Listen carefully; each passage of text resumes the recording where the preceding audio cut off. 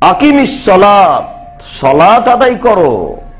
ওয়ামুর বিল মারুফ ভালো কাজের আদেশ করো। অনহানিল মুনকার, মন্দ কাজের নিষেধ করো। অসবির আলামা আসাবাক, মন্দ কাজের নিষেধ করতে গিয়ে যত সমস্যা আসবে, তার প্রতি তুমি ধৈর্য ধারণ করো। মন্দ কাজের নিষেধ করলে সমস্যা আসবেই, এটাই চূড়ান্ত। মন্দ কাজের নিষেধ করে কে? কই? বাংলাদেশের লোকের আলেমলমা সাহস করে না কেন? যেখানে সেখানে লিখা আছে যে পনেরোই আগস্ট কালো দিবস। বেটা, কিসের কালো দিবস? হ্যাঁ?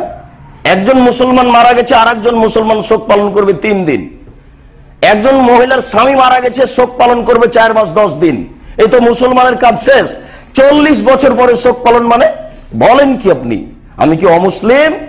আমার শরীরে মুসলিম রক্ত নেই? কিসের সুলি আর কিসের ফাঁসি? সুলি ফাঁসির পাঁচ পয়সা দাম দিনে।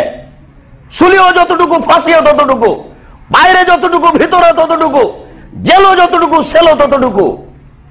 বাইতুল মুকারমের কথা বলা যায় না? বাইতুল মুকারমের জামে মসজিদ আপনার কি হয়েছে আপনি বলেন না কেন? বাংলাদেশের জাতীয় মসজিদ এটা সরকারের বেতন ভক্ষণ করা হয়, নির্দ্বিধায় বলতে হবে। কিসের চুলি কিসের ফাঁসি? এমন কোন মানুষ কিয়ামত পর্যন্ত জন্ম নেবে না কোনো আলেম যে প্রমাণ করতে পারে যে আর একটা দিন শোক পালন করতে হবে। চতুর্থ দিন শোক পালন করতে হবে।